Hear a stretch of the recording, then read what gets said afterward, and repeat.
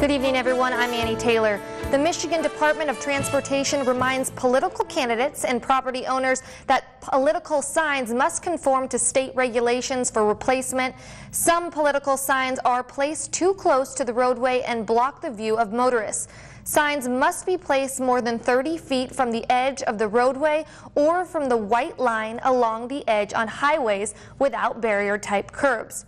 On highways that do have barrier curbs, the signs must be more than three feet from the back of the curb.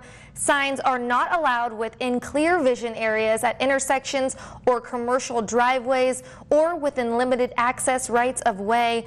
Campaign signs that do not meet these criteria will be removed, and signs must be removed within 10 days after the election.